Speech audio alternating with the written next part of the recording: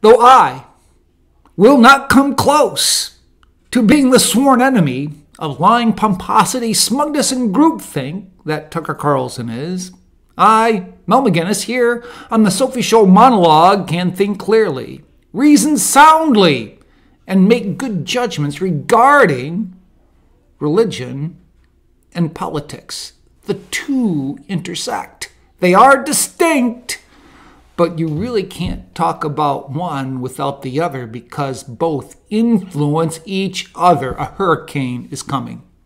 No, I'm not talking about the ones that slam against the coast of the Atlantic Ocean or the Atlantic coast in America or the Gulf of Mexico. A hurricane is being predicted by Jamie Dimon.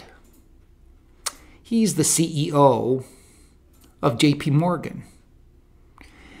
It's going to arrive, he says, by September, where inflation and all sorts of other things are going to just spin out of control, and you better hunker down.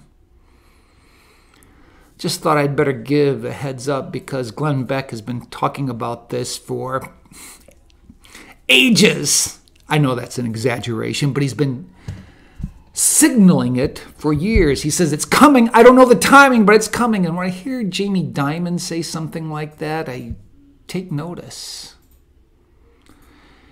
And with regard to this hurricane, Glenn Beck says, Be aware of three things.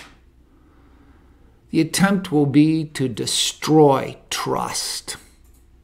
Destroy trust in our institutions. And that's been going on the Biden administration is accelerating it. They will scare you into silence.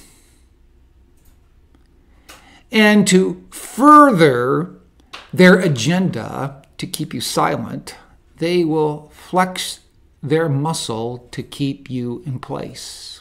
Who will stand up? It's interesting there's a movement going around in the churches signing a document called Acts 529, which says to the government, we will not shut down in the event of another pandemic. All for it.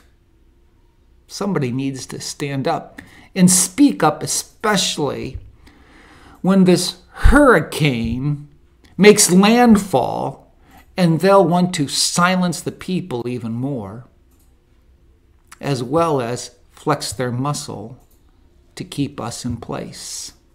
Heard Dennis Prager say the left puts trust in the state because they see the state as all good, whereas our government is designed to have the individual exercise rights and be where the power should be.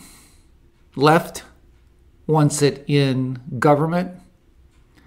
Those who are for the Constitution want it to have remain in the hands of the individual. Politically, what can be done? One thing that hasn't been done that's always on the back burner, but never does anyone follow through with it, is the REINS Act. What is that? Regulation from the executive in need of security act. That would shut down what the Biden administration is changing into a regime through the bureaucracy it now controls. This would be a yeoman's piece of legislation. But of course, President Biden won't sign that.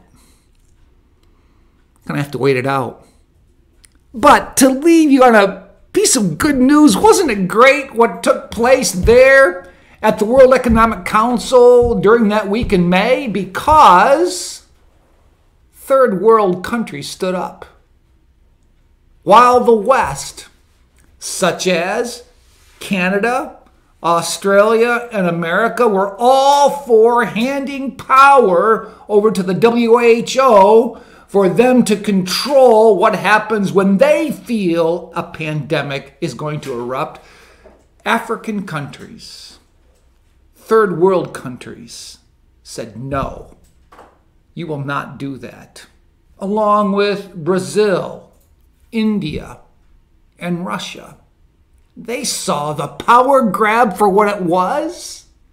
And because they did what they did, the WHO will not receive that power, which was going to be handed over to them by those in the West, those who are supposedly for democracy.